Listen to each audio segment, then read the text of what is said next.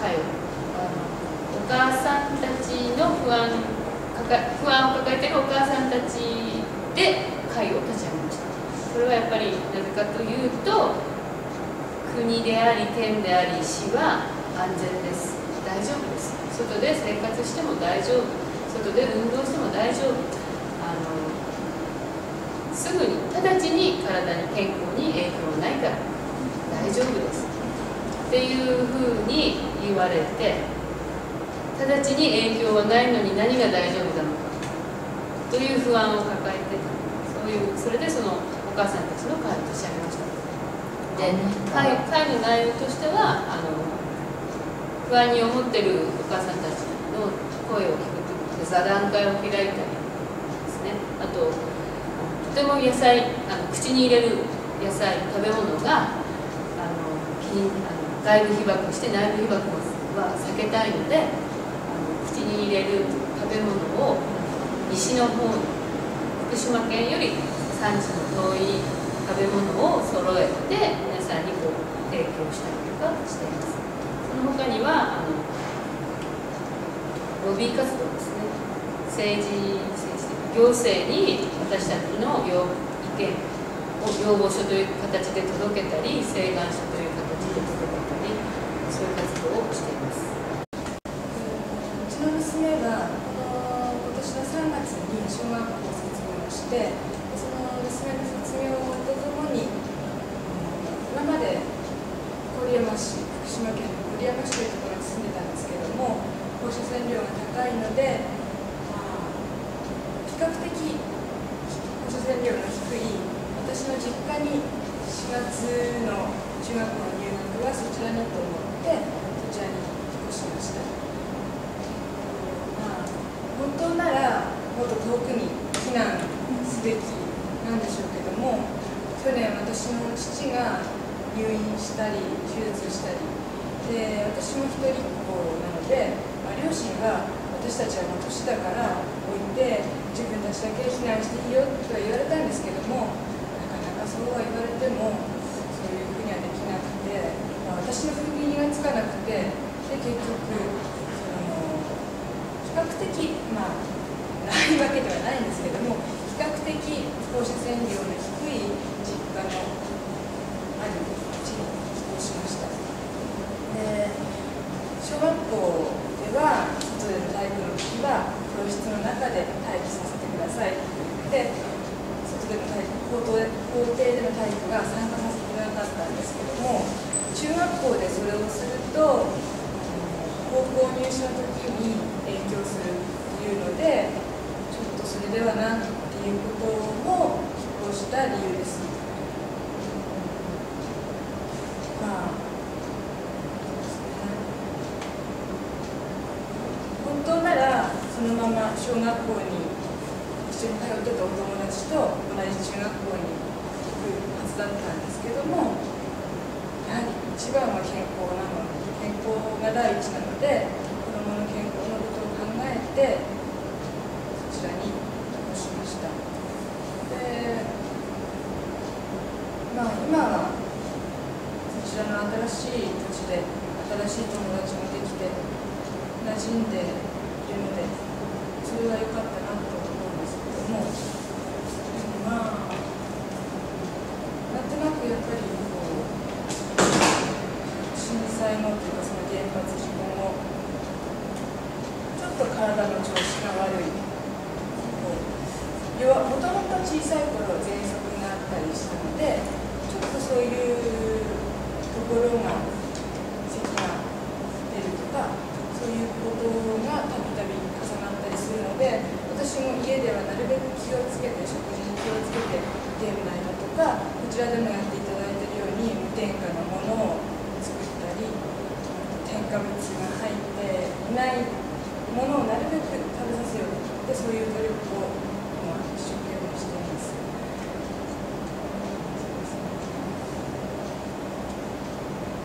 から、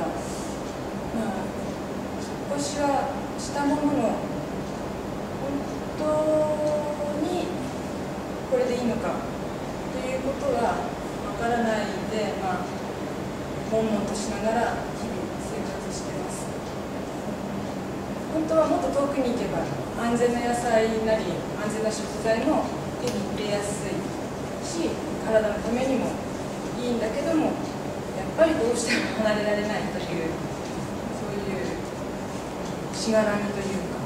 そういうものがあってなかなかすっきりはしないですね。あのだから今1年生で3年後に今度高校入試があるんですけどもその高校を今度どこに入れるか子供だけどっか遠いところ寮があるところの高校に出すかでも今のところ娘は私は嫌だったんですね。一人では行きたくないで私も一緒に行くとなるとやっぱり生活費がかかるのでそれがそれで大変だし、うん、どうすべきか。やっぱりそのまま郡山の高校に少しはしたものの近い郡山の高校でその中でも私立だとちょっと除染をしてあるところプールは屋内のところなどがあるのでそこに行かせるかとか今度はそういう悩みが今出てきてます。じゃあ私の方からは、えっと、実際に小学校の学校の現場のお話をしたいと思うんですけれどもやはりあの震災前にはできていたんだけども放射線の影響で屋外に出れないということでこんなにもできないことがいっぱいあったんだということに気がつきました。であの日本は義務教育小中義務教育なので全国同じカリキュラムでやってるんですが実際に福島の子どもたちはできないことがたくさん出てきています。で現場の先生たちがそれを少しでも補いたいと思って宿泊しながらいろいろ工夫をしながらやっているんですけどもどうしても絶対同じにはできないっていうのがあります。えば、えっと、栽培活動や外に行っての見学学習から体験学習それから、えっと、運動体育の授業が外でできない水泳は外でできないで屋外の運動しかできなくなってきてるのであの外で遊具で遊んだりもできないので子どもたちが本当に低学年なんか体のいろんな部分が本当に発達する時期にそういったあの運動機能をこう鍛えることができないでいます。特に持久力が低下しているっていうふうにあの私たちも子どもたちの生活を見てて思いました。運動会があの実際外で短時間でやったんですけど長い距離走れないんですね。すぐ走るとはーってこう地べたに座り込もうとするんですけど座っちゃダメよってあの外に出ても砂は触っちゃいけない。お尻をついちゃいけないっていうようなあの本当にこうピリピリしながらあの子どもたちにも指導しなくちゃいけないということであの苦労しています。それと,、えっと去年の、えー11月ぐらいまではあのほとんど屋内で過ごしていたので子どもたちが登校すると朝8時10分ぐらいに登校すると3時とか3時半までずっと室内にいるんですね。外に出ないと。で帰ってもまたうちの中でゲームテレビゲームをしたりビデオを見たり本を読んだりとか友達同士の関わり合いがで、子供が外で誰々ちゃん遊ぼうということで遊んでコミュニケーション力を育てていくっていうのもできないっていうことがあるなっていうふうに思いました。であの学校の中でもどうしてもやっぱり外に出て発散できないので怪我が多かったなっています廊下をまず走る走るなって言っても走れるところは廊下しかないみたいな感じでちょっとちょっとしたらもう衝突して怪我をしたとかあの怪我もしやすくなったっていうような保健師の先生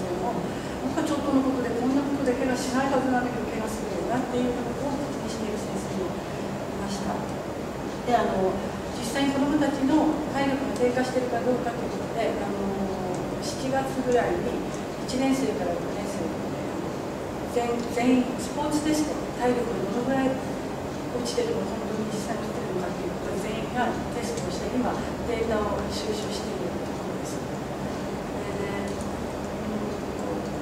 学校の勉強はそういったところであと去年の4月までは本当にひどくてこの真夏の暑い時に窓を開けられずもうクーラーもないところで子どもたちはこう仰ぎながらこうクールしながらもう冷えピタ張りながらあの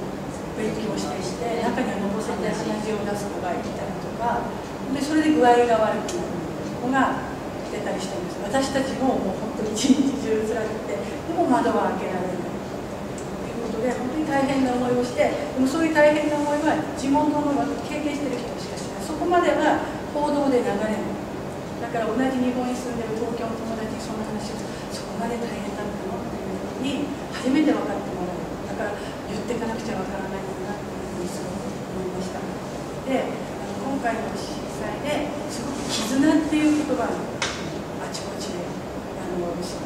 頑張れ日本っていうことで絆っていうことがすごく言われたんですけど反対の言葉で福島は分断っていう言葉が出てきたんですけども先ほどあの渡辺さんがおっしゃってたようにやっぱりお友達の中でも本音が言えない